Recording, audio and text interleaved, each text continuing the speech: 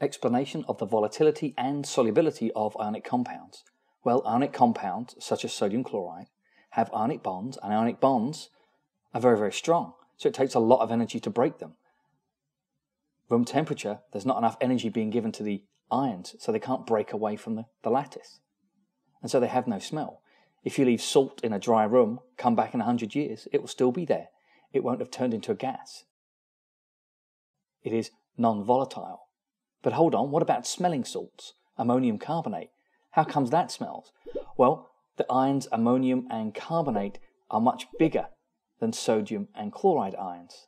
And so they have a lower charge density, the bonds are weaker, and the ions can actually volatilize off. So what about the solubility of ionic compounds in water? Well, there are two processes going on here.